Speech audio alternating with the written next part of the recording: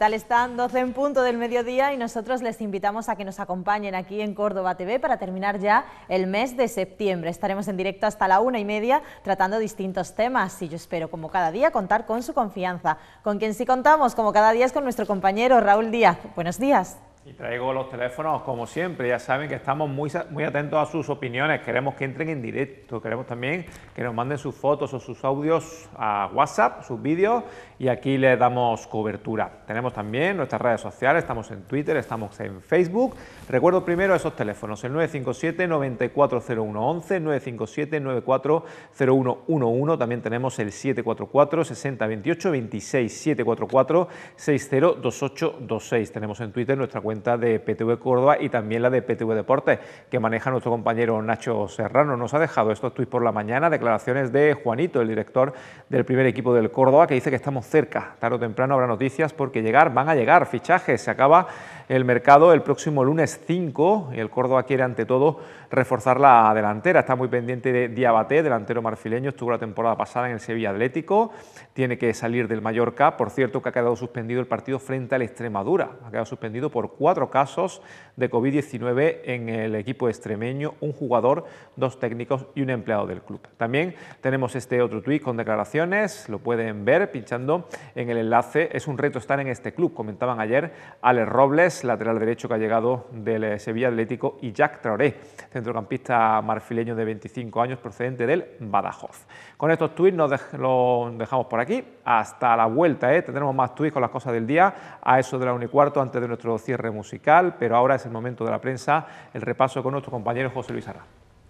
Efectivamente, Raúl, comenzamos cada día con esa actualidad que llega de la mano de José Luis Arranz. Buenos días, José Luis. Buenos días, Amparo. Comenzamos hablando de qué tema. Bueno, pues como ya sospecharás, hablando de COVID. De COVID. Eh, porque ayer hubo, hubo muchas negociaciones del Ministerio de Sanidad que negoció una serie de medidas eh, para evitar la, transmisión de contagios con la Comunidad de Madrid, que hoy se va a hacer extensivo al resto de comunidades. Y al mismo tiempo el Consejo de Gobierno de la Junta de Andalucía publicó ayer, aparece en el boletín oficial de la Junta, en el Boja de ayer, con fecha de entrada para esta noche, otra serie de medidas. Es cierto que las que propone la Junta de Andalucía no son para todo el mundo, son solo para municipios donde se limite la movilidad. Es decir, en este caso han puesto el parche mucho antes de que aparezca el grano, porque solamente hay un municipio en este momento que se va a someter a, esa, esta medida, que es el municipio sevillano de Casariche, que hemos comentado, que fue junto a Lucena el que disparó las alarmas hace una semana. Eh, Lucena va en remisión, eh, el contagio, eh, no se ha acabado ni mucho menos el problema, pero sí que los números se están conteniendo, van a la baja y Casariche no, se continúa creciendo el número de contagios, superan con crece los 500 por 100.000, creo que están en 5.000 ahora mismo en Casariche, o sea, una locura, y eso ha hecho que sí que se mantengan, sí que se propongan ahí medidas restrictivas. Dice el diario Córdoba, Andalucía limita a seis personas las reuniones con familiares. Bueno, eso con una salvedad muy grande. Ayer dijo Jesús Aguirre, lo dijo antes de ayer, consejero de Salud y Familia, que es muy difícil, por no decir imposible, vigilar que en una casa entren seis, siete u ocho familiares. Es decir, es una recomendación, es una apelación al sentido común de cada uno de nosotros, porque decía Jesús Aguirre, con razón, que cuando en una familia conviven, eh, cuando en una familia se reúnen los padres con hijos que a su vez tienen eh, cónyuges e hijos, ya no son unidad familiar, ya son muchas que se reúnen, con lo cual no vale unidad familiar. Eh, es cierto que hay un lazo de parentesco evidente, ¿no? Son nietos, son sobrinos, pero es no. familia. Claro, es familia, pero no es una unidad familiar. Cada uno tiene sus propios contactos sociales, sus propias reuniones, con lo Su cual. Propia casa. Y sobre todo un factor que incidía mucho eh, Jesús Aguirre es que en ese tipo de núcleos familiares hay abuelos con el riesgo que conlleva que los abuelos sean los que enfermen. Porque a pesar de todos los números que vemos cada día, cómo se disparan, el que haya menores contagiados, siendo preocupante, lógicamente, no vamos tampoco ahora a frivolizar con el asunto, pero siendo preocupante, el problema está en las personas mayores. La, gente joven, eh, afortunadamente para este sector de la población, no se están muriendo. Quienes están falleciendo son personas mayores, con eh, patologías previas, con polipatología en muchos casos, con insuficiencia respiratoria, cardíaca, con obesidad, con diabetes, que son los que están provocando que eh, los síntomas de esta enfermedad, que para muchas personas pasa totalmente inadvertida, le llega el virus y se le va y no se han dado ni cuenta que le ha pasado el virus por el cuerpo, pero para los mayores con, con pluripatologías, sí que les, es un problema. claro, les provoca una serie de, eh, de problemas, básicamente la neumonía bilateral, que es la que le está llevando a fallecimiento. Entonces, las medidas son medidas muy restrictivas. No llegamos ni mucho menos al confinamiento, lo que propuso ayer el Consejo de Gobierno de la Junta de Andalucía. Supongo que ratificadas hoy por la reunión, eh, como digo, con los otros, con el resto de comunidades autónomas, porque ha habido quien se ha enfadado porque hayan pactado el ministro de Sanidad con el consejero de Sanidad de Madrid unas medidas para toda España. Es verdad que Madrid tiene una situación especial, urgente, se pactó una medida y como había una, una especie de tensión entre si se iban a imponer o no medidas especiales para Madrid, lo que se hizo ayer fue pactar unas para toda España, pero solo se pactaron con Madrid algo que para el resto no ha sentado del todo bien, sobre todo los que no son del partido. Claro, como eran PSOE y PP, pues tampoco ha podido molestar a mucha más gente, ¿no? Pero en principio lo que se va a hacer es extender esas medidas. Muy en la línea de lo que aprobó el Consejo de Gobierno de la Junta de Andalucía, que como digo, eh, no eran, eh, no son eh, confinamiento otra vez, pero sí que hay medidas bueno, que ya nos esperábamos. ¿no? Por ejemplo, se reducen, como señalan los periódicos, a seis las reuniones familiares de no convivientes. Si alguien vive en una familia, los abuelos, los padres y tres hijos, que no se vaya uno de la casa. Pueden estar los siete, no pasa nada. Pero lo que no puede ser es arrimarse a alguien allí, ¿no? Ahora sí, hay o familias con seis hijos, que no echen a dos de ellos a la calle, que pueden, pueden convivir. Estar, ¿no? Pueden, seguir conviviendo. Pero, pero los, no convivientes, máximo recomendación, repito, porque eh, no se puede eh, vigilar esas circunstancias. No se puede entrar la policía a tu casa a contar cuántos estáis allí. Entonces se apela al sentido común y a la responsabilidad de cada cual. Eh, se va a reducir a foros, otra vez en, esa, en esas ciudades, digo, donde haya restricción de la movilidad. Es decir, Caseriche, por ejemplo, ahora mismo. Eh, se va a restringir eh, los bares, el horario de apertura hasta las 10 de la noche, los aforos hasta el 50%, se reducen aforos también en espectáculos deportivos o lúdicos, se propone el cierre de peñas, de círculos culturales, de asociaciones, en fin, lo que ya vimos en la primera etapa, pero en esta ocasión eh, solamente se va a ir bloqueando ese tipo de movilidad donde se alcancen una serie de parámetros. ¿Cuál es? El fundamental el de los 500 contagios por 100.000 habitantes al alza. Es decir, si son 500 y mañana hay 550, vamos al alza. Si son 600, primero son 550, vamos a la baja. Estamos sobre 500, pero bajando, con lo cual se va a entender que es un factor positivo y no, sé si en un día, ¿eh? eso sí. científico, si en la serie de 5 días, de 4, de 8, no lo sé. Pero si se va a la baja, se, no se va a llegar al confinamiento este perimetral o selectivo. Se impedirá, lógicamente, que, que los vecinos de otras localidades cercanas entren o salgan del municipio. Se prohibirán visitas a residencias de mayores que yo insisto, no sé cómo lo se está haciendo ya, porque ese es el principal foco de temor, no de contagio, de, el foco de preocupación para los médicos, para las autoridades sanitarias y, lógicamente, todo tipo de autoridades. Y muchas otras, muchas otras mm, eh, medidas, ¿no? Todas en esa línea, de aforos, de horarios, de reuniones. Es un, está publicado en el boletín de ayer, no sé dónde lo tengo ahora, pero por ello tendré, y, eso limitará en el momento en el que llegue. En Córdoba hay seis municipios hoy, a día de hoy, que están por encima de los 500.000 habitantes.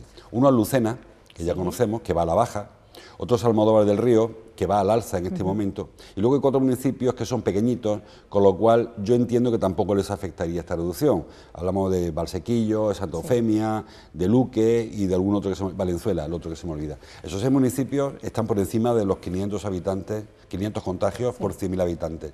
Pero claro, aquí en Valsequillo son 300 personas, hay 19 contagios, todo de un solo brote, todos controlados. No, vamos, no vas a confinar el pueblo porque hay 19 personas que tengan ese problema. Se atenderá a esas personas, ¿no? En Luque parecido, en Santo Fe parecido, y en el otro que se me olvida siempre uno, Valenzuela, Luque, Santofemia y Valsequillo, muy parecido en cuanto a población pequeña, Valsequillo el que menos, el municipio más pequeño de Córdoba.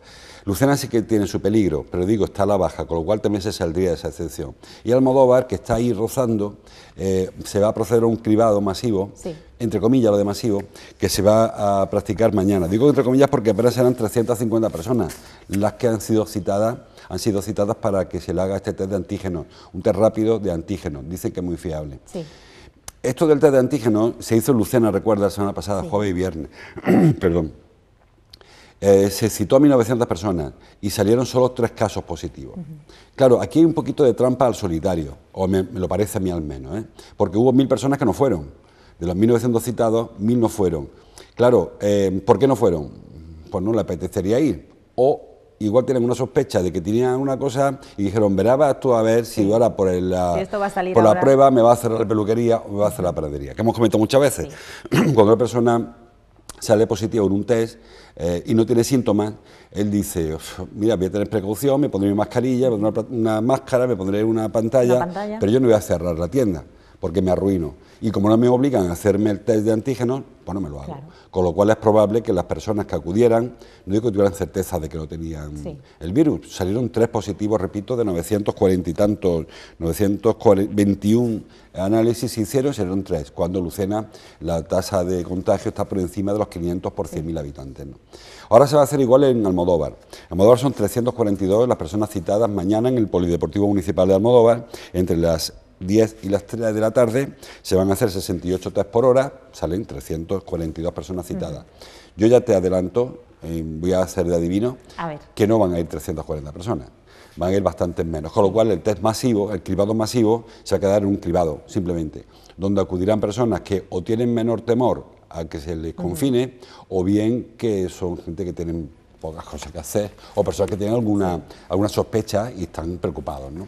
Entonces, lo que en su día, esto no es solo de Lucena, es de Almodóvar, ¿eh? que pasó en Vallecas también, en Vallecas también se propuso un cribado masivo y ha ido la mitad de la población, porque este temor existe, este temor de que eh, salga positivo, claro, si tienes síntomas, te lo haces por tu seguridad, por lo de los tuyos, pero tú estás en tu casa tranquilamente, sentado, y dices, oye, voy a asomarme ahora porque se le ha ocurrido a la consejería que me haga un test. Y si salgo, y yo estoy bien, todo el mundo está bien, mi familia, mi entorno, ¿para qué voy a regarme que me dé un test de antígeno, me dejen 14 días en mi casa y a ver quién abre ahora el taller mecánico? Porque estoy yo solo, que hay muchos casos que es así. Entonces hay que anteponer. Eso es un tema que no es de egoísmo solo, ¿eh? porque este tema del de la, mm, enfrentamiento economía-salud lo está haciendo todo el mundo. Eh, yo no entiendo, y lo hemos hablado de una vez aquí, por qué se limita a las 10 de la noche la apertura de un bar por ejemplo, pero el autobús está abierto hasta la una de la mañana y la gente se agarra a la barra, se sienta en un sillón. Cuando se levanta de la silla nadie va a limpiarla. En el bar sabes que hay que ir con el spray y limpiarlo. Y a las 10 y 5 ya no hay virus, o sea, ahora sí hay virus, hasta las 10 menos 5 no había. Creo que muchas veces se ha puesto una raya entre hasta dónde puede llegar el control y hasta dónde puede soportar la economía, y esa raya es una raya muy, muy gorda. O sea, aquí puede caber muchos pies, no es que sea tan frágil como... Hay cada uno la ha puesto donde ha querido ponerla. Entonces, pues hay que, hay que eh, creer que los criterios son todos científicos, con un poquito de criterio económico y político, y que eso se hace por el bienestar de la población en todos los sentidos, el de la salud y el económico, porque al final, ayer hoy creo que la prolongación de los ERTE que aparece en los periódicos hoy va a costarnos 22.000 millones de euros, y eso hay que pagarlo. Y lógicamente, si dijeran cuánto vale una vida, vale mucho más de 22.000 millones de ERTE. Pero cuando no tienes 22.000 millones de euros, digo, cuando no los tienes, pues a ver cómo, lo arregla. Hay que compatibilizar el bienestar de cada uno, la salud de la población, con la necesidad de que el país siga avanzando.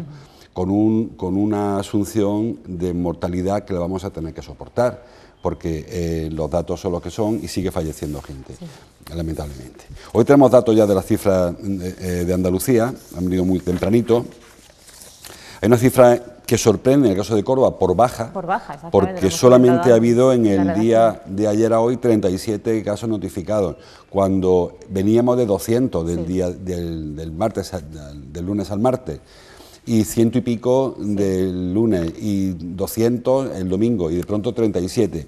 Bueno, eh, supongo yo que esto de los contagios lo hemos comunicado muchas veces, lo hemos dicho muchas veces, las comunicaciones no son del todo precisas al minuto, es decir, hay casos que se dan hoy que se notifican mañana o pasado mañana porque o bien haya duda o porque se pide un segundo test, por la razón que sea. Conocimos hace una semana, no sé si una o dos semanas, una máquina que se rompió, y que nos, trajo tres días con 300 o más casos, hoy son 37. Bueno, en el total de Andalucía ha habido 1.071 casos, que es similar a la cifra, un poquito menos de la de ayer. Hay solo, entre comillas, cuatro ingresos UCI, que es una buena noticia, 80 hospitalizados más, 21 fallecidos más, que es una malísima noticia, en Córdoba 3, por cierto, y 760 personas recuperadas de un día para otro. Cifra inferior a la de ayer, pero muy superior a la media de los últimos días. Es decir, que estamos recuperando bastantes personas, básicamente porque muchos de los que estaban eh, dados de mm, baja estaban sin síntomas y se espera los 14 días y se recuperan muy fácil. Cifra positiva, con estos datos en Andalucía hay muchos municipios que superan los 500 contagios por 100.000. Preocupante solo Casariche, que digo, se dispara la, cifra, creo que son 5.300, una locura. El resto están ahí. Córdoba capital está en 230, es decir, estamos a la mitad de lo que se exigiría para que tuviéramos que sufrir un nuevo confinamiento eh, perimetral, que no se está hablando del confinamiento absoluto. Eh, es decir, que mucho tiene que crecer la cifra para que estas medidas nos pillen, porque lamentablemente creo habrá una segunda tanda de medidas según vayan creciendo. En Madrid me parece haber leído que con las cifras que se proponen cierran 10 municipios, entre ellos la capital. O sea, la Comunidad de Madrid cerrarían del todo 10 municipios, y la capital entre, entre ellos. Claro, en Madrid es que te subes en el metro y la gente sigue piñada en el metro. Y luego se enfadan porque ven un botellón, pero si es que lo estamos llevando nosotros al metro. Es verdad que la gente va con mascarilla, cierto, pero bueno, que no solamente la mascarilla, que repito, vamos, la gente va agarrada a la barra eh, donde se sujeta para no caerse en el metro, a veces no hay que sujetarse. Basta tan pegada al lado que no hace falta. Hay nadie limpia entre, entre viaje y viaje, entonces yo creo que eh, estamos asumiendo una, un riesgo y hay que ser conscientes de que lo asumimos. Porque hace estos seis meses ya, cuando empezamos con el confinamiento, hubo muchas voces que, pretendían que se acabara con un estado de alarma porque se hunde mi empresa. Bueno, pues decidimos todos, por boca de nuestros representantes, que había que compatibilizar la salud pública con eh, la economía del país. Y ese riesgo hay que asumirlo, igual que se asumió en Estados Unidos, en Reino Unido, en Brasil, en Italia, en Francia, cada cual, bueno, pues hasta un punto, ¿no? Uno es con mejor resultado, otro con peor resultado, en fin, cada cual ha, ido saliendo del agujero como ha podido, o está saliendo, porque salir no ha salido nadie. Entonces en, en España se ha optado por esta fórmula, puede, puede ser equivocada, pero es consciente, es decir, no, se están haciendo las cosas eh, porque se crea que así solo se va a acabar. Los científicos siempre dicen que para acabar con un virus hay que encerrarse en su casa de uno hasta que el virus haya desaparecido. No hay otra fórmula o hasta que aparezca una vacuna suficientemente fiable. No hay más fórmula. En cuanto autoriza el trabajo, autoriza el colegio, autoriza... Lo más eh, mínimo, claro. Ahí no hay La propagación está ahí. Hablando de colegios, por cierto, Córdoba sí que tiene un récord en Andalucía, es en la ciudad, la provincia donde hay porcentualmente más aulas cerradas. O sea, récord eh, negativo. Récord negativo. Eh, no es la que más, la que más aulas es Sevilla, pero Sevilla tiene mucha más población que Córdoba, con lo cual en el caso de, de Córdoba estamos en 1,25, 1,5 aulas cerradas eh, 1,5% las cerradas, eh, que son, son total 19, no, 114 sobre 7.300, es decir, que no es que sean muchas, números absolutos, pero es el récord. Ya hablamos también en su día de que irían la incidencia chorreándonos, porque esto se veía venir. Eso es imposible que tú abras los colegios, metas a los colegios a centenares de miles de niños y confiar en que no se contagien unos a otros, porque habrá mascarilla, pero hay baños que se comparten. Eh, los críos más pequeños comparten el lápiz, comparten la goma. Por mucho que diga la madre que no lo haga o el padre, lo van a compartir. Hay quien comparte el chupete. ¿Cómo no van a compartir una goma? Y comparte los juguetes. Yo creo que eh, es una línea mm, que difícilmente no se sobrepasa. y lo que sí es cierto es que en Córdoba, junto a Jaén y Almería, no hay ningún colegio cerrado. Porque en las otras cinco provincias ya hay colegios cerrados del todo. En Málaga hay diez colegios cerrados, creo recordarlo de memoria. Y en Sevilla alguno más. Es decir, que colegios han llegado a cerrarse, de verdad que hay colegios que tienen cuatro o cinco unidades solo, pero se han llegado a cerrar colegios que en Córdoba todavía, esperemos que no ocurra, no ha habido que cerrar ningún colegio. Hay colegios con más complicaciones, la Salle se fue complicando, creo que ya han reabierto aulas, pero en fin, esto es la evolución que ya veíamos que se iba a producir. Y seguimos con el COVID. Hace unos minutos hubo rueda de prensa de Miguel Ángel Torrico, David Dorado y alguien más, no recuerdo, creo que fue Marian también, Marian Aguilar, para notificar que este año la Navidad va a ser menos Navidad que otros años. No va a haber cabalgata de reyes, no va a haber espectáculo de luz y sonido y yo creo que no va a haber fiesta de las tendillas, fiesta de fin de año, aunque no lo han dicho.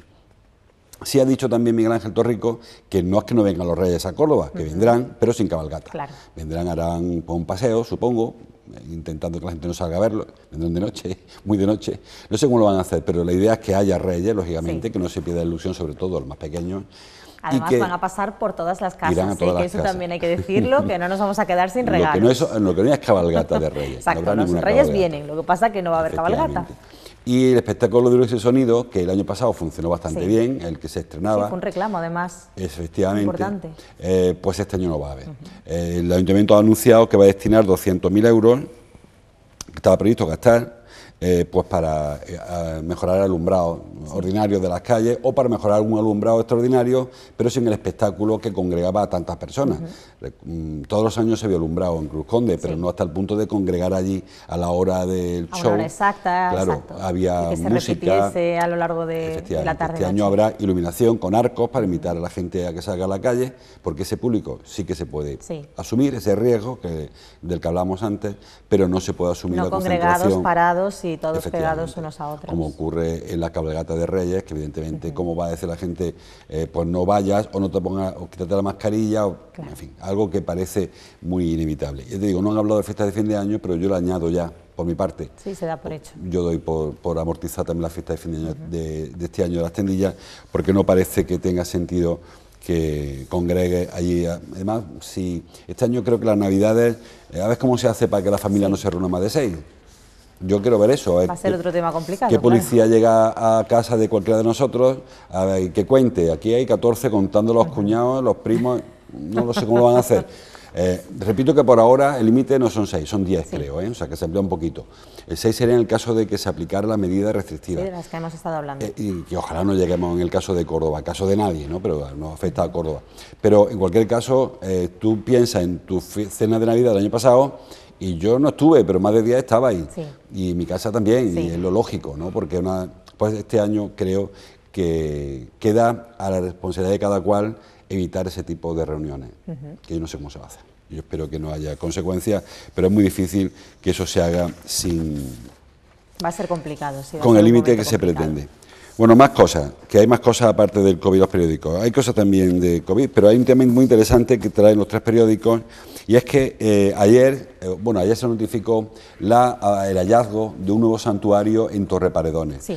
Torre Paredones, recordemos, es un yacimiento fundamentalmente romano, lo que está apareciendo es todo romano, aunque hay trazas de que haya población, poblamiento anterior, pero lo que está saliendo de valor es romano, que está en Baena fundamentalmente, aunque también pilla el terreno municipal de Castro del Río. Y Mm, y también pilla fincas privadas, no todo municipal. Bueno, pues eh, hace unos días eh, se tuvo constancia de que en una finca privada había un movimiento clandestino de tierra, clandestino en el sentido de que no estaba autorizado. Es una zona que aunque es privada, pero tiene una especial protección por la cercanía al yacimiento de Torre Paredones. Bueno, pues eh, cuando se enteraron del movimiento, hubo, aparecieron algunos restos de tumbas, hubo hasta tres enterramientos, y eh, la Delegación de Cultura de la Junta de Andalucía pues, mm, propuso una excavación arqueológica. Ahí se investigaron en torno a estas tumbas. Tres tumbas muy interesantes, dicen, porque son muy dispares y hablan de una variedad que no es normal en la, en la, forma funeraria de los romanos, ¿no? porque suelen ser más parejos, según dice. Bueno, pues había una urna cerámica individual, había un enterramiento común, colectivo, de varias personas, parece que familiar, y una tapa de una urna también cerámica. Pero es que cuando estaban excavando para ver qué más se encontraban, aparecieron hasta, creo que fueron cuatro, cuatro o más, creo que son cuatro, cuatro eh, exvotos, cuatro figuritas de caballo, que no tampoco es nada habitual.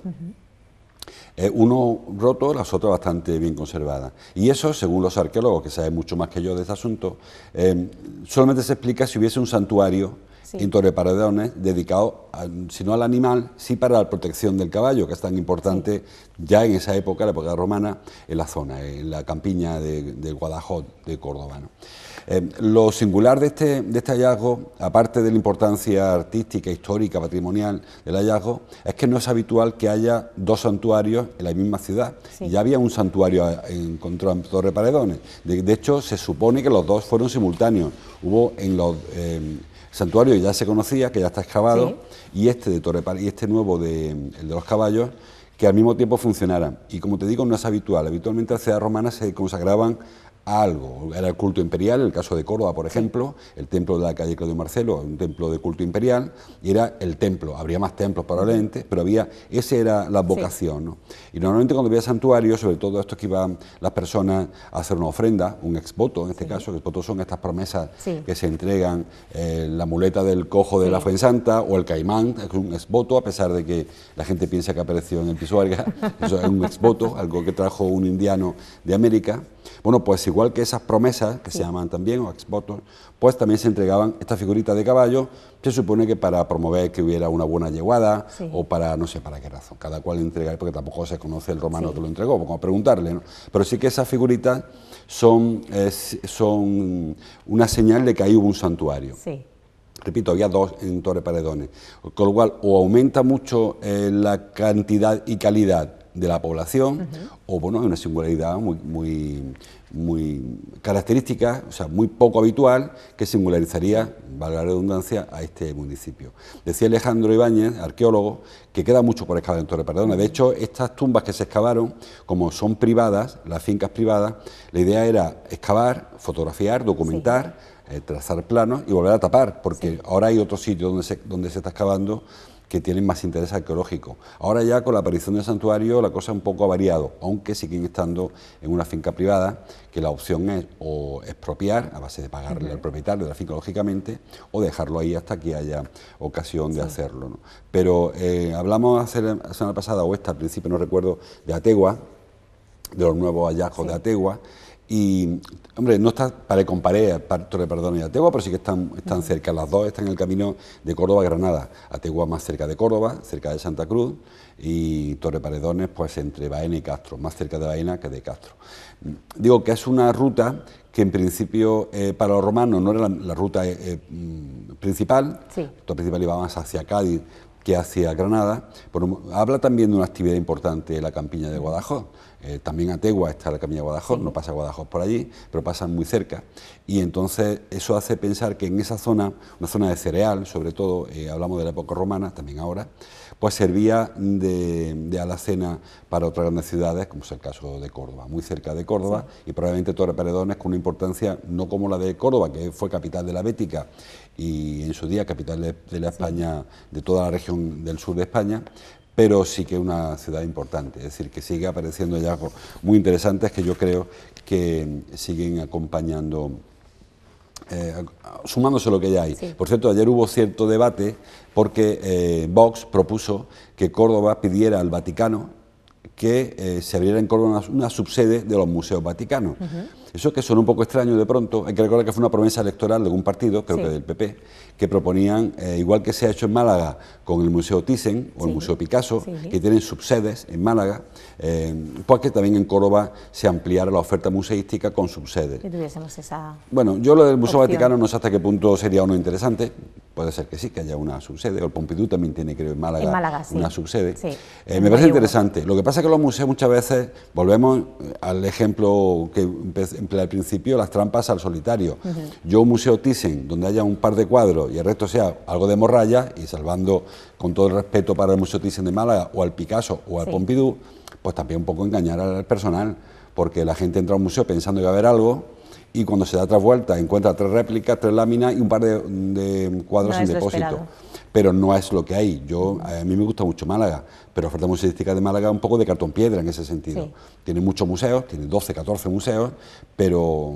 Y sin embargo lo explotan muy bien. Ahora que no hay nadie que no tiene mucho que ver ahora que no me está viendo nadie, tiene nada que ver el Thyssen de Madrid con el Thyssen de Málaga, tiene nada el Pompidou de París con el Pompidou de Málaga, porque es otra cosa. Hay exposiciones itinerantes muy interesantes que yo creo que hay que visitar, pero bueno, muchas veces entras al Museo Picasso y te encuentras que ahí hay una réplica de la paleta que usaba y no es eso lo que tú vas buscando. ¿no? por eso digo que yo lo de museo al por mayor no lo quiero para Málaga y tampoco lo, quiero para Córdoba. Es decir, yo creo que en Córdoba hay, una, hay un par de museos muy interesantes, fundamentalmente el arqueológico, que yo siempre digo que es el mejor de España, salvando el Museo Arqueológico Nacional, tiene piezas únicas en España, y el Romero de Torres, que es un museo muy particular, monográfico, pero tiene una visión de la pintura del siglo XX hasta los años 30, cuando falleció el pintor cordobés, eh, del paso del, realismo al final al modernismo, con toda esa... muy interesante para la pintura, incluso los que no sean muy Julio Romero de Torresistas,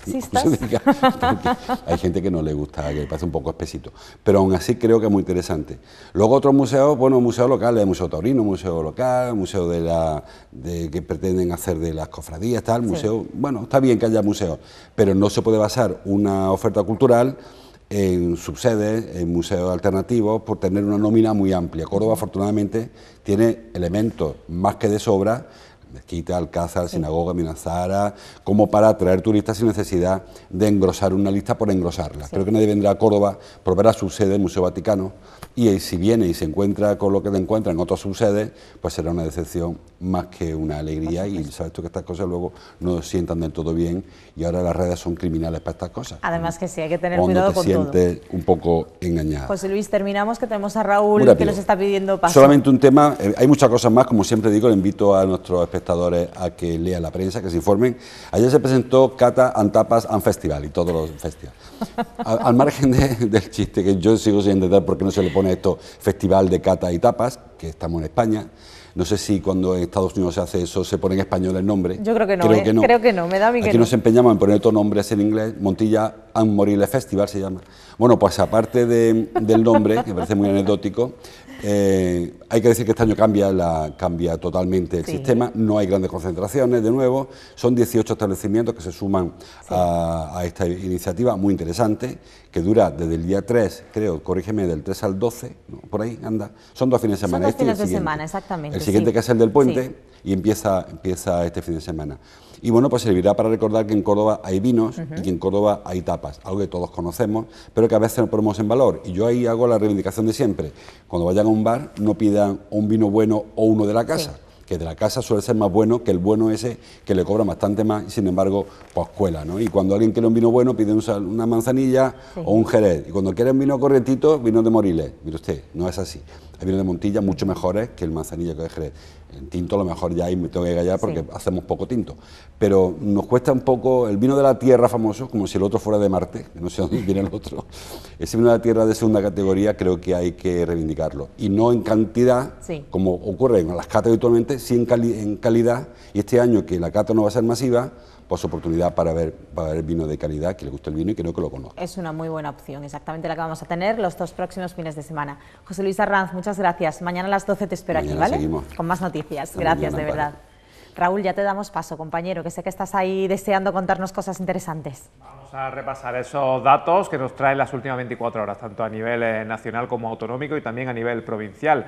A nivel nacional se registran ya 758.172 positivos con 31.600 14 fallecidos por coronavirus, lo que supone 9.906 positivos y 203 fallecidos en las últimas 24 horas, mientras en Córdoba nos encontramos 1.236 casos positivos, 25 fallecidos por provincias, lo vemos también, ya lo adelantábamos ayer, 208 casos positivos en Córdoba con 35 personas recuperadas. Ya el dato de hoy es de 37 positivos y 3 nuevos fallecidos, mientras que en Andalucía tenemos 1.084 pacientes hospitalizados, 151 de ellos se encuentran en las unidades de cuidados intensivos. Nosotros ahora nos vamos a ir al Palacio de la Merced, al certamen de jóvenes flamencos, nos lo cuenta Ana Espino.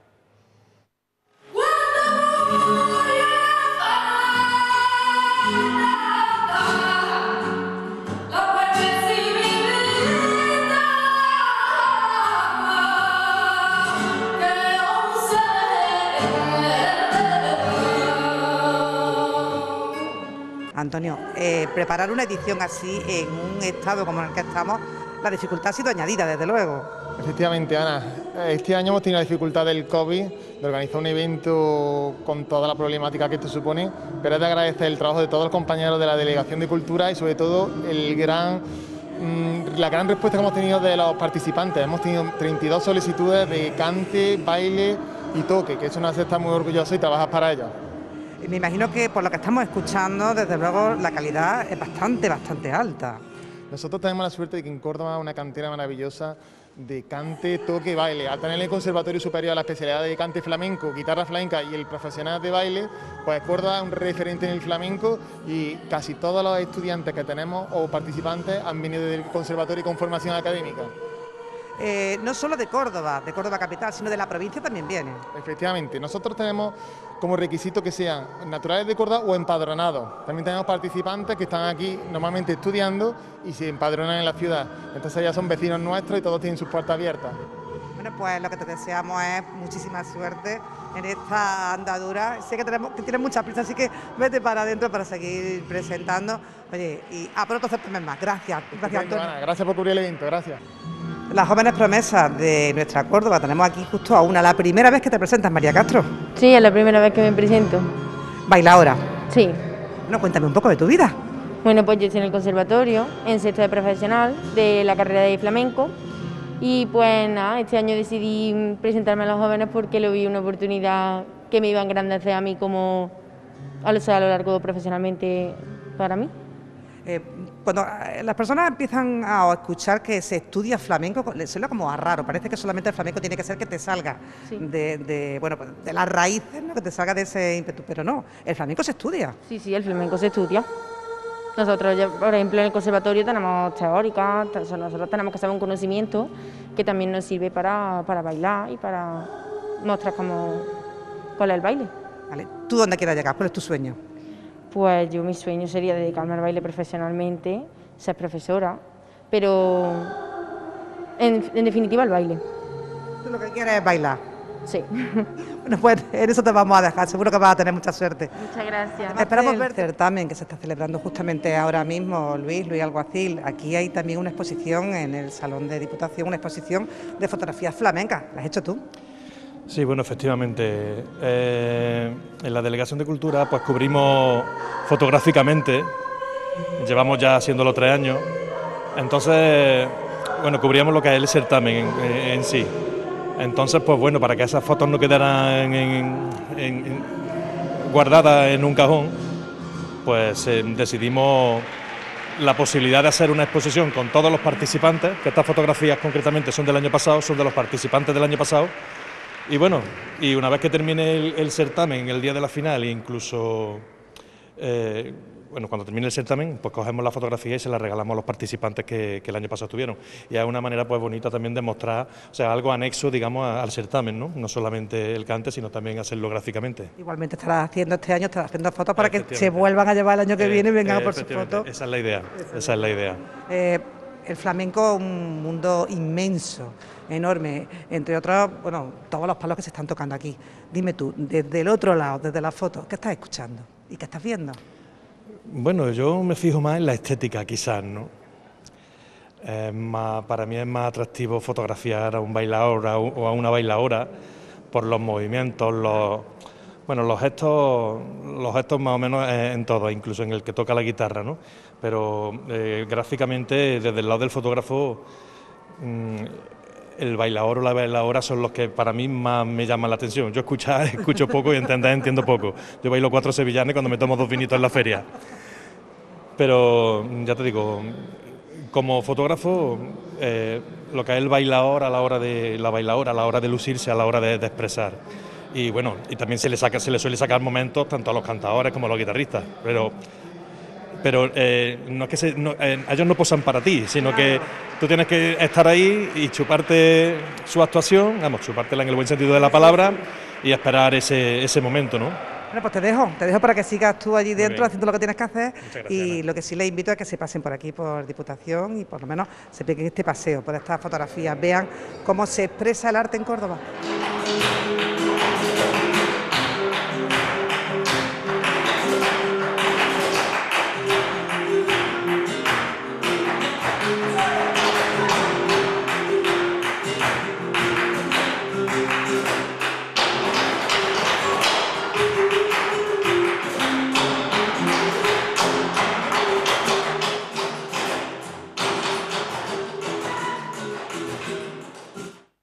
Seguimos conociendo ahora a nuestros amigos de la Asociación de Jóvenes Empresarios de Córdoba, AGE.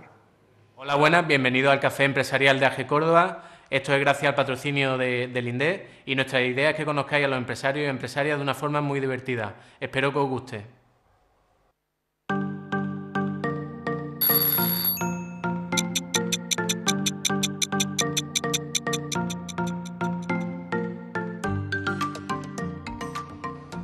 Con leche de arroz dependiendo del día, a las 7 o a las 8. Patronista industrial, actriz y cantante. 100 años de soledad. Las noches de Caviria. Luchador. Violeta. http www.lamariposadehilo.com Ilusión, enfoque y constancia. Posible. Julio Anguita. Lorena McKennitt. Grupo de personas emprendedoras y luchadoras. Un lugar donde crecer, que te da apoyo. Mi nombre es Lola Espinosa y soy licenciada en arte dramático y patronista industrial.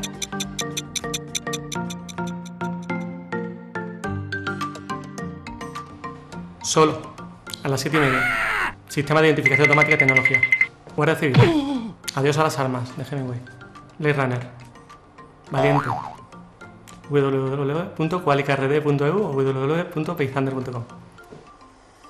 Algo necesario. Valiente, loco, eh, visionario. Seneca.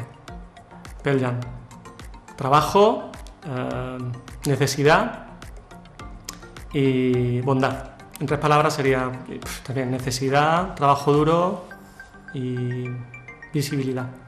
Soy Francisco Javier Gómez, soy CEO de Qualica RD, cofundador de Paythunder y soy un flipado de la tecnología y de la historia y de la música.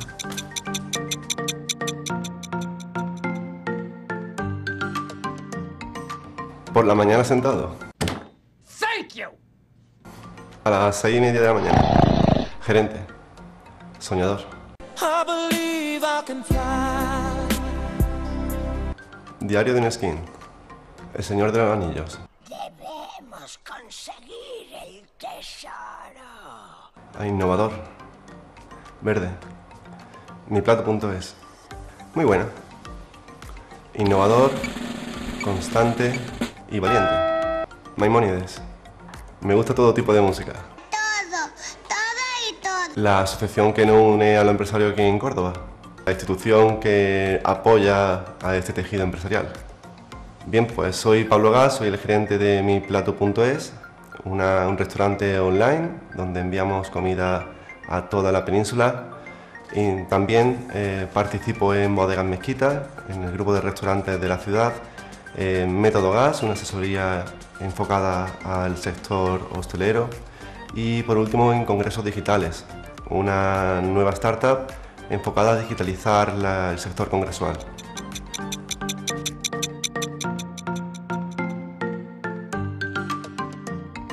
El café me lo tomo con leche y una gotita de sacarina. Yeah. A las 7 y cuarto. Pues tengo varias. Eh, soy periodista de profesión y diseñadora de pasión. ah, pues de pequeña siempre he querido ser escritora. 100 años de soledad. Desayuno con diamantes. A ser persistente, tenaz y ser un soñador, básicamente. El rojo. www.cookiecute.com. Una quimera, un imposible hoy día. Soñador, eh, persistente mm, y pues no sé, un poco loco, eh, soñador también al fin y al cabo. Pues yo me quedaría con Seneca, la verdad. Pues mira, barriendo para casa siempre me encanta y me pone las pilas escuchar los Atlánticos. Es una sorpresa para la tristeza. Empresario, networking y mm, crecimiento. Apoyo eh, institucional y emprendimiento también. Bueno, soy Marian Castro, eh, periodista y bueno, di- periodista de profesión, diseñadora y, y soñadora eh, de la marca de tocados eh, Cookie Cute, tocado y complementos. Lo hacemos artesanalmente y dedicado a esas chicas, a esas señoras que quieren algo especial y exclusivo para, para cualquier evento.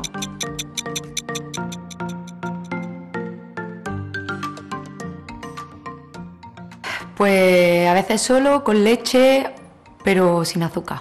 Siete, siete y cuarto. Empresaria. Pues me hubiese gustado ser trabajadora social. Las hijas del agua de Sandra Barneda. La vida es bella. Buenos días, princesa. Eh, osado. El verde. Verde que te quiero verde. Eh, www.gruposercolu.es. Es fundamental. Eh, creativo, eh, valiente y constante. Aterraman III. Vanessa Martín. Pues equipo, eh, activa y necesaria. Eh, el INDES creo que es un ente fundamental en Córdoba para, para el desarrollo económico y, de las empresas.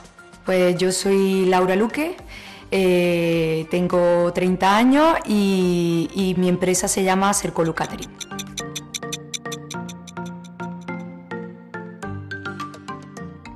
Solo, con hielo, depende, 7, 8, bueno, 6, 7 más bien, eh, autónomo. Bueno, autónomo y empresario, claro. Eh, músico, músico, sí. Nunca negar tus labios, negar que te amo y que sin ti soy mejor. Hombre, por cariño y tal, Dune. Eh, Blade Runner. Yo he visto cosas que vosotros no creeríais. Creo que decir loco es lo más evidente, pero. loco. Negro. Evolutiva.es. Necesaria, evidentemente. Loco, valiente y, y persistente. Julian Guita. Pero voy a decir un grupo norteamericano que se llama Tool. Eh, beneficio, eh, impulso y visibilidad. Pues motor empresarial de la ciudad. Eh, soy Ale del Rey, socio fundador de Evolutiva, una empresa de servicio de producción, damos servicio de producción de vídeo, tanto a nivel de a nivel de vídeo corporativo, como spot publicitario o animación 2D y 3D.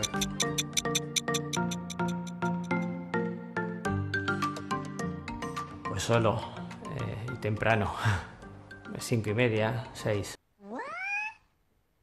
Bueno, soy ingeniero agrónomo, eso dice un título que tengo, pero me dedico a llevar mi negocio adelante.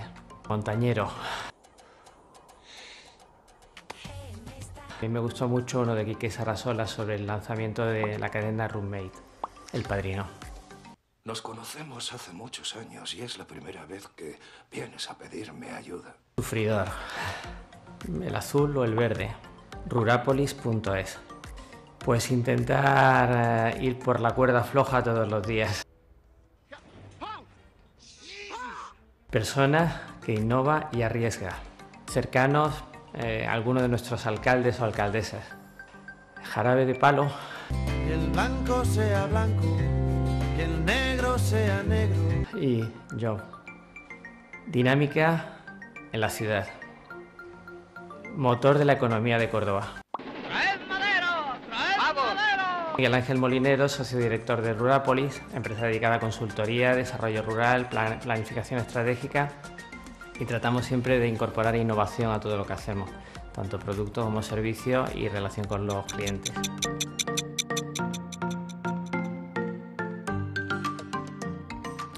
Pues muy frío y con leche. Pues a las 7, pero pongo también a las 7 y 5. Ingeniero. Médico. Hola a todo el mundo. Hola, Eh, ahora me estoy leyendo La Isla de las Gaviotas. El Club de los Poetas Muertos. Señor Nolan, ¿le llaman a usted? ¿Es Dios? Eh, liderazgo. Pues el rojo. philwendu.com. Vital para trabajar. Talento, trabajo y más trabajo. Sí que voy a trabajar. Pues Gran Abderramán III, fundador de Medina Zahara. Pues me gusta Manolo García y Vetusta Morla. Y adentrarme en el tiempo de las luces. Ocupación de loco. pues para mí familia y, y consolidación de los emprendedores. Soy David Requena, ingeniero en electrónica, fundador de Wendu y responsable de innovación tecnológica en el IMIBIC.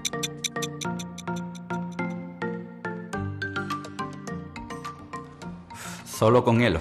¿Os gusta el café? A mí también. Siete menos cuarto o algo así. Autónomo, científico, depende en el entorno donde esté. ¿Pero qué estás diciendo tú? Científico, siempre lo he tenido claro desde chico. Historias criminales. El científico loco. Seguramente el principito. El lobo de Wall Street.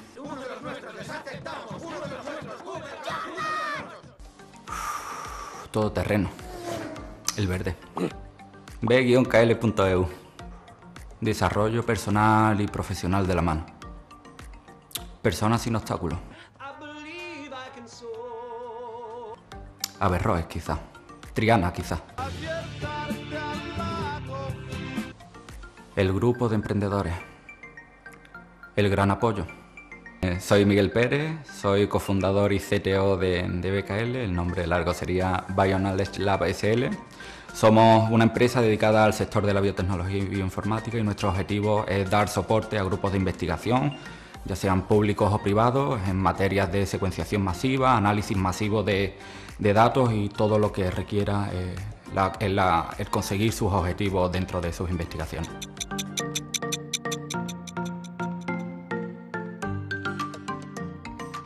Eh, con leche. A las 8 de la mañana. Autónomo, emprendedor. eh,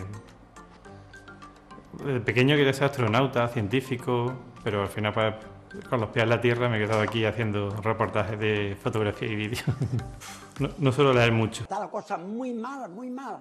Cualquiera de ciencia ficción, no tengo ninguna en especial, pero cualquiera de ciencia ficción seguramente. Bueno, una persona que emprende, que arriesga para poder llevar a cabo un, un proyecto y, y que sea viable. El rojo.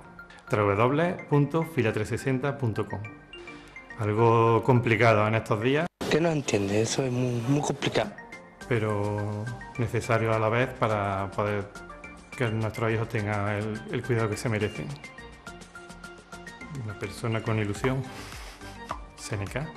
Particular, pues sí me gusta mucho lo que es la música electrónica mm, New Age, y entonces pues Jean-Michel Jarre o, o también Mayolfi, por ejemplo, sería uno de, de los dos referentes. No, un grupo de, de empresarios eh, para hacer fuerza con sus proyectos y, y poder llevarlos hacia adelante. Un apoyo local eh, muy fuerte para, para el emprendimiento y para la industria en general de Córdoba. Soy Julio Merino, cofundador de Creaciones Inmersivas SL. Llevamos a cabo un proyecto que se llama Fila 360, que ya está disponible en, Android, en, en la aplicación móvil, en la cual queremos llevar los espectáculos en formato virtual a las casas de, de los espectadores.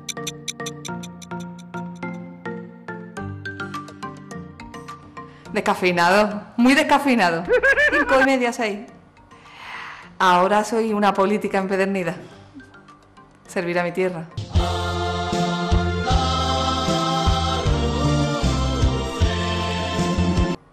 Los pilares de la tierra, de Ken Follett. Bueno, soy más de libro. Thank you. Superhéroe. Azul. Un problema.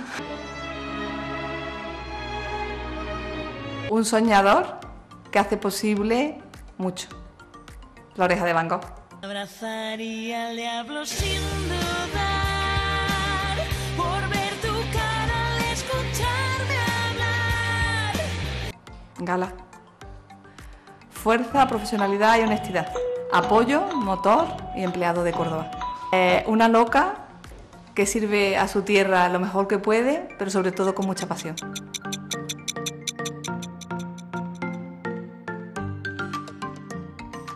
Sin azúcar y sin nada. Lonely, I'm Mr. Lonely. A las 6 de la mañana. Eh, autónomo. El conductor de autobuses.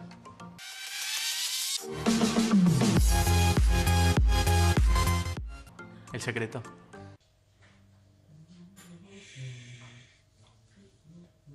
O últimamente que haya visto que la Hito es la que más me ha gustado siempre, es la que más recuerdo. Un hombre fuerte, un eh, hombre o mujer fuerte, rojo. Es alfe.es. Difícil. Valiente, constante y fuerte. Mm, me está gustando porque está llevando el nombre de la ciudad Paco Morales. Flamenco. Na- eh, Lin y Nani Cortés. Oh. Diversión.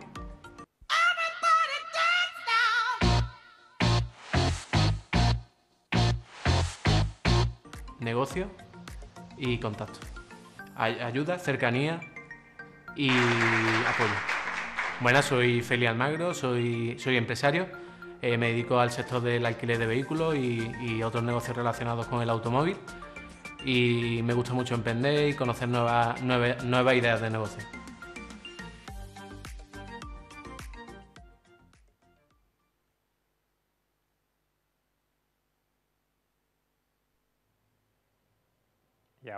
A relajar un poco, pero solo un poco, porque tenemos en un punto de directo a nuestra compañera Ana Espino, que se encuentra en un marco idílico, en los baños árabes. Cuéntanos, Ana, cuéntanos por ahí, que te veo muy relajadita.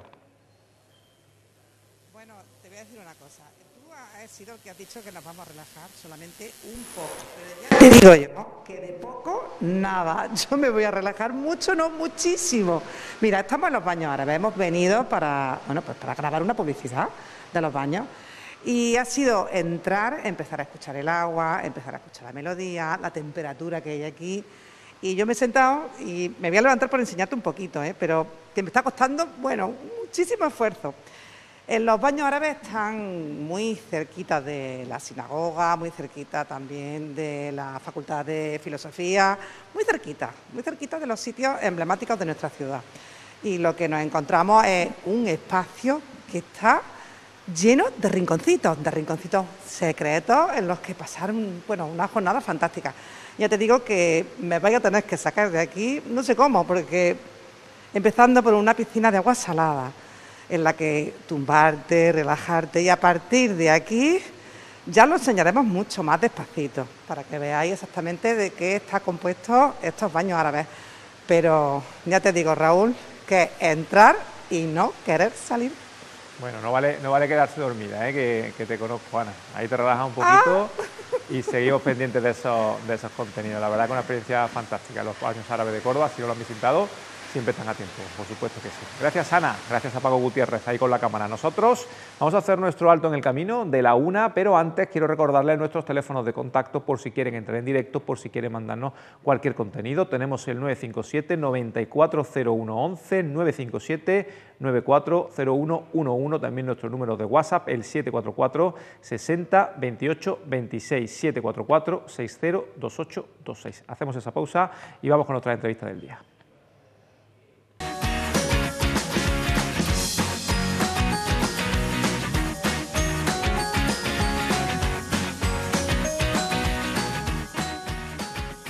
Tres minutos pasan de la una del mediodía, continuamos en directo con todos ustedes y con nosotros está aquí ya en el plató José Villamor. Él viene representando a la Plataforma Ciudadana para la Defensa del Sistema Público de Pensiones y es que, como bien dice nuestro compañero José Luis Arranz, no todo es COVID en esta vida y en este momento, sino que hay otras problemáticas que se han ido quedando de lado y que parece que ya no suenan tanto como en un principio, como es el caso de la defensa de las pensiones. Muchísimas gracias, Pepe, por estar con nosotros. Bienvenido a Córdoba TV. Vale, gracias a vosotros. Y vamos a hablar de una cita que se va a desarrollar mañana a partir de las diez y media de la mañana. ¿En qué va a consistir? Sí, ma mañana a las diez y media en la Plaza San Felipe de Neri, sí. eh, frente a la, a la, delegación del Gobierno de la Junta de Andalucía, pues mm, vamos a, a, dar una rueda de prensa, pero antes llevaremos unas flores y unas velas, sí. las depositaremos allí y una especie de placa en homenaje a las personas fallecidas, a las personas mayores fallecidas porque mañana es que el, es el Día Internacional de las Personas Mayores. Sí. Y por eso queremos darle un homenaje a todas las personas mayores fallecidas eh, durante esta pandemia. Eh, ¿Y por qué lo hacemos ante, el, ante la Junta de Andalucía? Uh -huh. Pues lo hacemos esencialmente porque la Junta de Andalucía es la responsable de la sanidad pública, sí. es la responsable de las residencias públicas, bueno, las residencias, sí.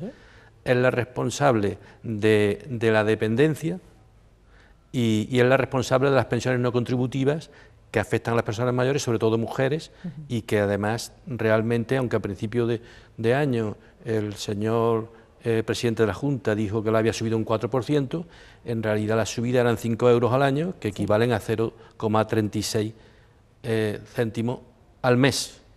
Por lo tanto, eh, eso afecta a las personas más vulnerables y por todas estas cosas consideramos que hay que pegarle un toque de atención a la Junta de Andalucía para que se ponga las pilas, para que mejore la asistencia primaria, para que mejore la situación de las residencias eh, y para que de alguna manera en la dependencia haya más recursos, porque últimamente ha hecho, ha hecho un decreto ley donde le quita competencias en la gestión a los ayuntamientos y a la Diputación para los ayuntamientos de menos de 20.000 habitantes, y para que de alguna manera las pensiones no contributivas, que en otras comunidades como, el, como en Euskadi, pues son eh, la Junta puede poner, o el Gobierno autonómico puede poner hasta el 30% de la pensión no contributiva, aquí en Andalucía, sin embargo, solo la subió un 4%, pero que un 4% es 0,36 eh, eh, euros al mes. Por lo tanto, por todo eso, queremos mañana y sobre todo hacerle un homenaje a, a las personas mayores, que es mañana su Día Internacional. Desde la plataforma se sigue trabajando en pro de todas las personas mayores y sobre todo tocando temas que son los que realmente son importantes. Estamos hablando de la sanidad, seguimos hablando de las pensiones, que ya llevamos mm. muchísimo tiempo hablando de ellas. Parece que no hay una solución a esa serie de problemas que se plantean y por los cuales se sigue trabajando y luchando, sobre todo desde esta plataforma. Sí, nosotros, aparte de, mañana que vamos a hacer, pero lo vamos a centrar en el Día Internacional de las Personas Mayores, y vamos a hablar de las residencias, de la sanidad pública, de, de más recursos en dependencia y de las pensiones no contributivas.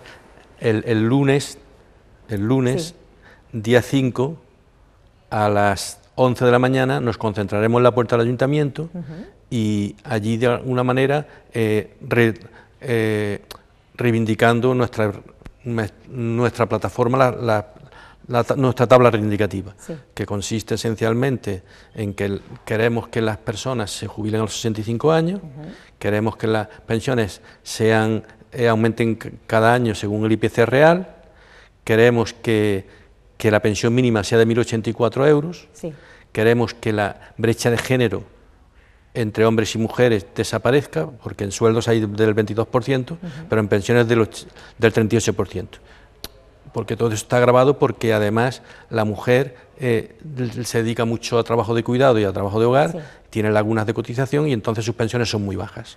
En general las pensiones en Córdoba son bajas con respecto al resto del Estado, porque en Córdoba los salarios son bajos y, con salarios bajos no puede haber eh, pensiones altas. entonces reivindicamos que haya salarios dignos para que haya pensiones dignas. Parece fácil, pero no lo es, Pepe. Es una reivindicación importante y en la que hay que trabajar todos, ya no solamente las personas mayores, porque esto siempre lo decimos, que los que somos un poquito más jóvenes o con menos experiencia, vamos a decirlo así, llegaremos también a una edad en la que queremos tener nuestra pensión. Claro, nosotros en realidad mm, luchamos porque las pensiones nuestras mejoren. Sí. Pero sobre todo luchamos por, por las pensiones de nuestros hijos y nuestros nietos. Claro, porque nosotros creemos que el sistema público de pensiones español es sostenible. O sea, al margen de lo que dice, el, por ejemplo, el, director del Banco de España, eh, Pablo Hernández Cos, que, que, siempre está preconizando que no es sostenible y, y además priorizando los planes de pensiones. Nosotros no, nosotros creemos que el sistema público de pensiones es sostenible. Siempre que le quiten los gastos impropios, porque realmente hay una serie de gastos que, se hacen con las cotizaciones sociales y no, no tendrían que hacerse, sino que tendrían que, hacerse con cargo de presupuesto del Estado, digamos, pues cuando a, los empresarios le bonifican las cuotas, eh, cuando la tarifa plana de los autónomos, eh, una serie de, cosas que, realmente tendrían que pasar a presupuesto, como, como, los complementos a mínimos con las pensiones no contributivas. Todo esto tendría que pasar a, presupuestos generales. Y es que es curioso porque durante, si hacemos una auditoría histórica de la seguridad social, eh, hubo una época en que las cotizaciones sociales ahora, eh, antes eran cuatro puntos mayores que ahora, pero es que con, las cotizaciones sociales se han hecho la mayoría de los hospitales en este país, eh, la reconversión industrial que se hizo, tanto que un poco obligada por la, por la entrada de la Unión Europea que se hizo en España, se pagó con, con las cotizaciones sociales, se, cree que hay un déficit histórico de unos 519 mil millones, así, de entre 500 y 600 mil millones que hay un déficit histórico. De hecho, hace poco el Tribunal de Cuentas ha reconocido que había un déficit de 103 mil millones. Entonces, nosotros creemos que, que las pensiones, eh, que el sistema público de pensiones es sostenible.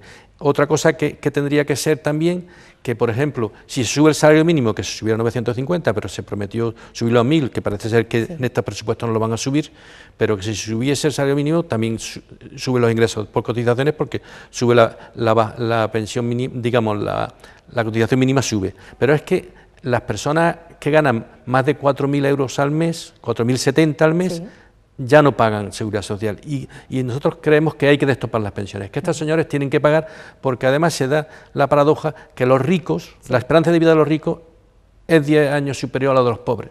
Y estos señores van a tener deben de contribuir eh, porque el sistema público de pensiones lo que es intergeneracional, es un sistema de reparto y además cohesiona la sociedad.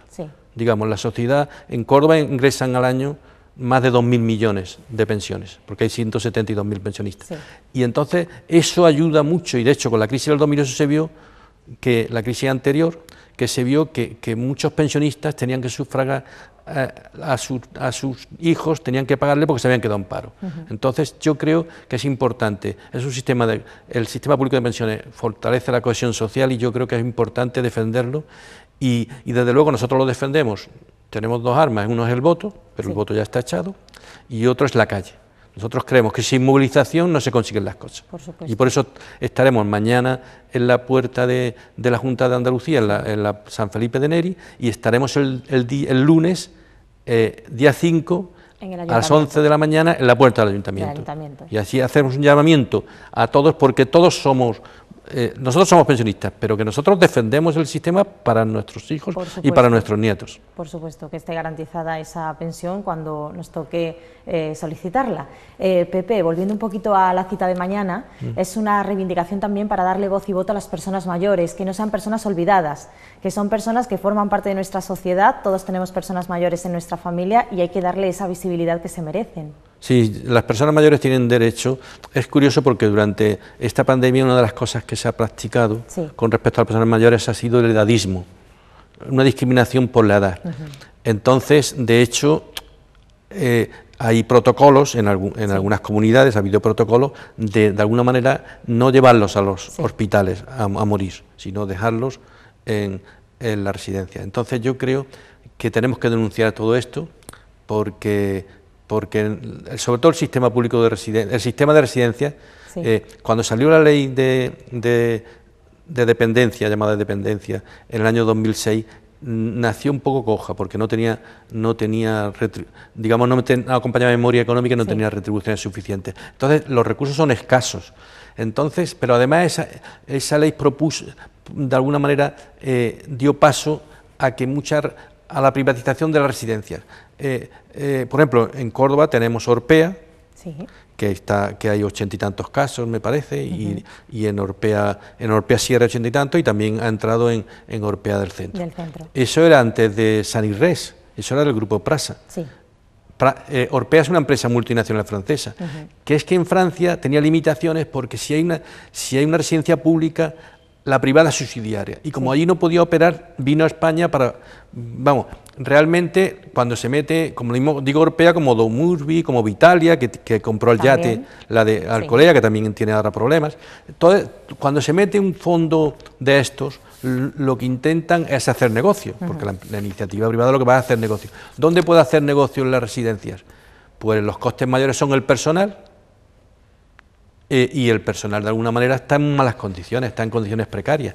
Y otro coste es la alimentación, pues ahí escatiman y realmente, y luego además no toman los medios. Digamos, nosotros mañana seguramente leeremos una carta de una persona, de, Ana Serrano, que, que, el día 9 y el 13 de abril perdió a sus padres en la residencia de Rute.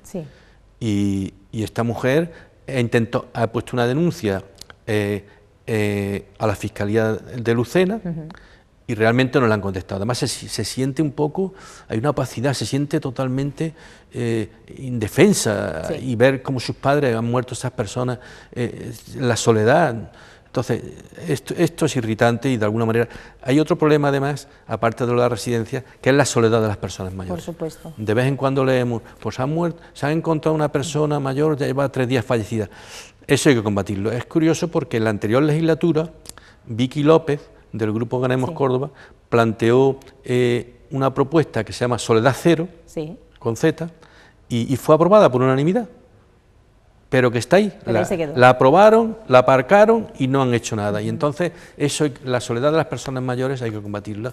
Y desde luego, como tú muy bien decías, hay que darle voz y voto porque nosotros eh, eh, estamos aquí y, queremos, de alguna manera, eh, seguir estando y además viviendo dignamente, porque nosotros no, tampoco preconizamos el sistema de residencia, nosotros queremos envejecer en nuestras casas, en nuestro entorno. Queremos envejecer. Nosotros creemos que la residencia no debe ser el objetivo prioritario, sino, sino, sino de alguna manera fortalecer dar más recursos para dependencia a las personas que realmente lo desean y que la asistencia domiciliaria, potenciarla más, eh, a los trabajadores darle más recursos, pagarles mejor y, que las personas mayores eh, podamos vivir en nuestro entorno, que es lo que queremos, y vivir dignamente con pensiones dignas. También. Pepe, con eso nos vamos a quedar. Muchísimas gracias por haber estado con nosotros. Eh, mañana estaremos también presentes en esa cita y, por supuesto, el día 5, el lunes, también vamos a estar muy pendientes de lo que ocurra en la puerta del Ayuntamiento. Gracias, de verdad. Gracias a ti. ¿eh? Continuamos, continuamos en directo y en este caso la siguiente entrevista la tenemos vía Skype. Creo que ya puede hablar con nosotros eh, Paco Lobatón. Paco, buenas tardes ya hasta ahora.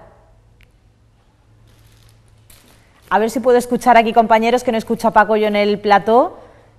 Paco, te voy a dar de nuevo las buenas tardes, a ver si así te puedo escuchar. Creo que no, creo que tenemos un pequeño problema con ese Skype. En el momento en el que podamos tener a Paco Lobatón con nosotros, va a estar hablando de una iniciativa que ha llevado a lo largo de la provincia, porque las desapariciones de menores es algo que nos preocupa a todos. Ahora creo que sí puedo escuchar a Paco, compañeros.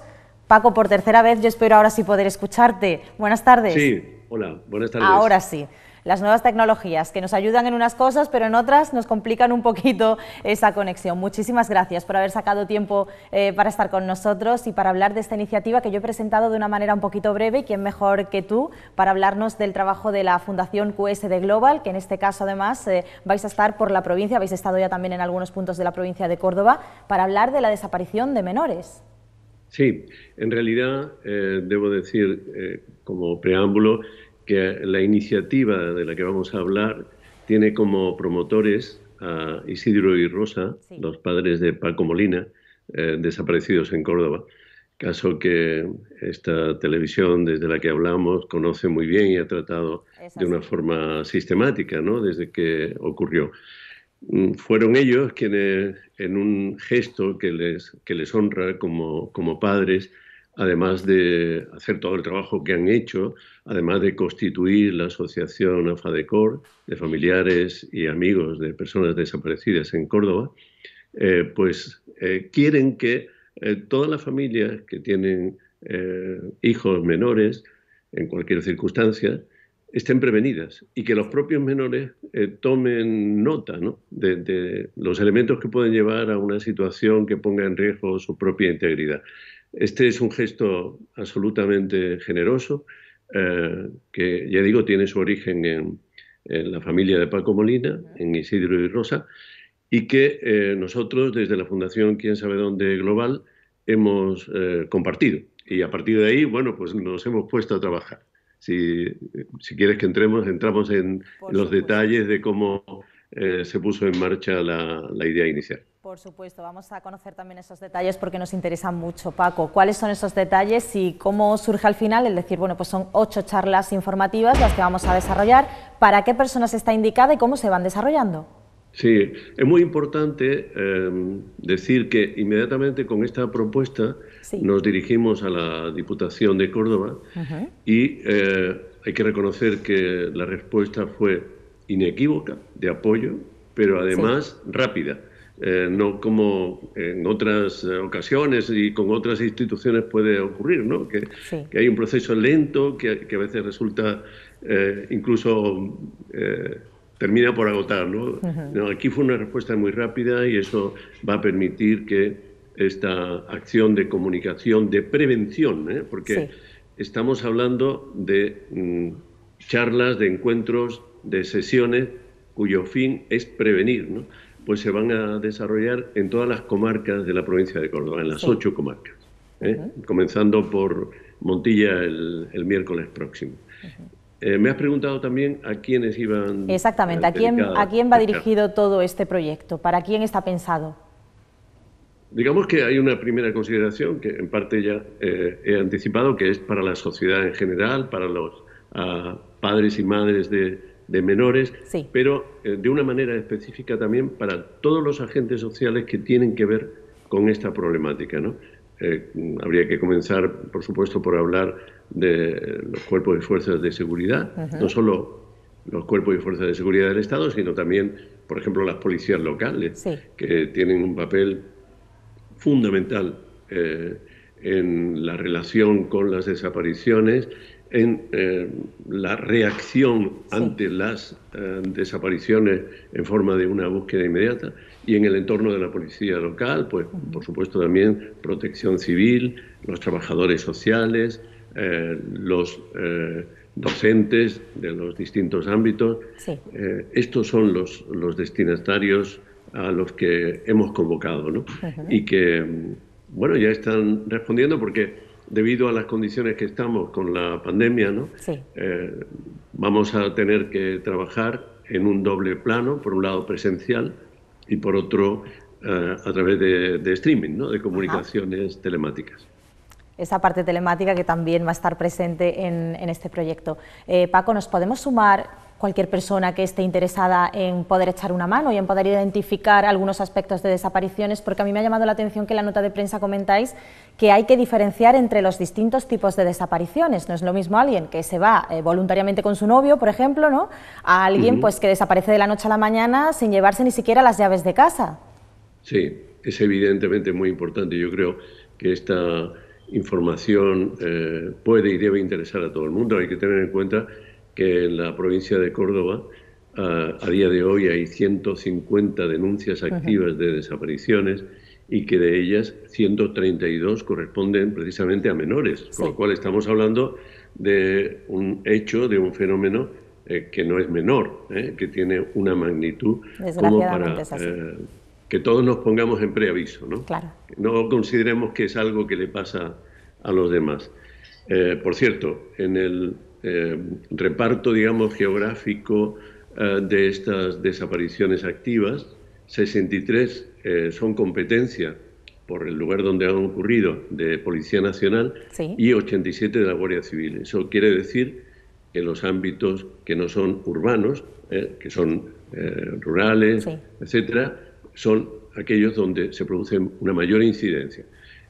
y todos ellos van a ser atendidos, como he anticipado anteriormente, gracias precisamente a ese planteamiento de ir comarca por comarca. Eh, si quieres hacemos el recorrido de, rápidamente, eh, localidades. Vamos a He dicho, el próximo miércoles empezamos en, en Montilla, eh, luego Villafranca, Baena, Palma del Río, Villanueva, Lucena, Peñarroya y llegaríamos el 4 de noviembre a Córdoba Capital. Ese es un poco el programa. Pues nosotros lo apuntamos todo en la agenda, le vamos a dar difusión, por supuesto, a este proyecto tan interesante. Y muchísimas gracias, Paco Lobatón, por haber estado con nosotros aquí en Córdoba TV, aunque sea vía Skype, vía telemática. Espero pronto que te puedas sentar aquí con nosotros en el plato. Y sí, sí, están invitadas todas las personas, eh, se pueden poner en comunicación con, la Fundación, eh, es muy fácil, eh, QSD, de quién sabe dónde, qsdglobal.com, ahí van a encontrar toda la información mm, sobre esta acción precisa y, por tanto también la manera de sumarse y participar o presencialmente, eh, quienes puedan, o a través de, de la comunicación por streaming. Lo importante es estar. Muchísimas gracias, de verdad Paco, por habernos atendido. Gracias. Gracias a vosotros, de corazón. Pues ahí tienen esa información que nos llegaba de la mano de Paco Lobatón y seguimos con información, pero en este caso de la mano de nuestro compañero Raúl Díaz. Raúl, Sí, entramos ya en la recta final rápidamente con los tweets del día, analizando las efemérides y lo que cabe resaltar en este último día del mes de septiembre de este año 2020. A nuestras futuras traductoras y traductores, feliz Día Internacional de la Traducción. Asimismo, hoy 30 de septiembre es el Día Internacional del Derecho a la Blasfemia. Redro 80 nos recuerda que hoy hace 65 años que un accidente de tráfico truncó la vida de aquel rebelde sin causa llamado James Dean, todo un mito del cine. La palabra del día para la Real Academia Española es jeroglífico, dicho de una escritura que no representa las palabras mediante signos fonéticos o alfabéticos, sino el significado con figuras o símbolos, como los que usaron los egipcios y otros pueblos antiguos. A partir de hieros, sagrado, también tenemos jerarquía, antiguamente hierarquía o jerónimo. y están relacionadas con glifein, cincelar grabar las palabras triglifo o gliptoteca. Nos recuerda también el Ministerio de Sanidad que la mascarilla te protege a ti, no es para la naturaleza. Lo que tiras al suelo no solo afecta a nuestro paisaje, también impacta en la flora y la fauna. No ayudes a crear recuerdos inolvidables. Los residuos abandonados de la pandemia tardarán cientos de años en desaparecer. La previsión del tiempo, llegamos ya al mes de octubre. Hoy despedimos septiembre con 13 grados de mínima y 31 de máxima. Según la Agencia Estatal de Meteorología, tendremos un acusado descenso de las temperaturas, sobre todo las máximas, a partir del viernes, con apenas 22 grados de máxima, una tendencia que irá algo al alza en los próximos días en las máximas, pero fíjense que tenemos para el sábado y el domingo 8 y 9 grados de mínima, respectivamente las mínimas ya se mantienen eh, bajitas. Para ese martes 6 de octubre, a una semana vista, tendremos 10 grados de mínima y 28 de máxima. Ese frío calor que nos trae un poquito locos y nos tiene la garganta tocada. Tenemos para despedir los titulares del día, los principales medios de comunicación. En el diario Córdoba, Córdoba se queda sin Navidad, suspende la cabalgata y el espectáculo de Cruz Conde. En el día, el mismo tema, suspendido la cabalgata de Reyes y el espectáculo navideño de Cruz Conde. Tendremos tiempo para asimilarlo, sobre todo a los pequeños. Dice ABC que Salud registra tres muertes más por COVID-19 y una bajada de contagios con 37 nuevos. Cordópolis, el COVID vuelve a repuntar en Córdoba con 208 contagios y 18 hospitalizados en un día. Estos son los datos de ayer. En el país, Sanidad pide restringir entradas y salidas, reducir aforos y cerrar parques infantiles con los municipios con más contagios. Y finalmente, en el mundo, parecido, centrándose en Madrid, Sanidad propone cerrar Madrid y otras nueve grandes ciudades en situación extrema. Pues hemos empezado nuestros contenidos con Ana Espino, con Flamenco y con ella vamos a terminar para ponerle el broche a nuestro programa, el último de este mes de septiembre, Amparo. Así es, Raúl, despedimos septiembre, despedimos nuestro programa hoy, Córdoba TV, y lo hacemos con música, porque volvemos a irnos hasta la Diputación Provincial de Córdoba. Allí Ana Espino ha realizado una serie de entrevistas que ya han visto en ese eh, espacio que nosotros les hemos ofrecido, y a continuación vamos a ver también las actuaciones. Como cada día, gracias por su confianza, que disfruten del resto del día y que mañana, por favor, a las 12 estén aquí puntuales con nosotros.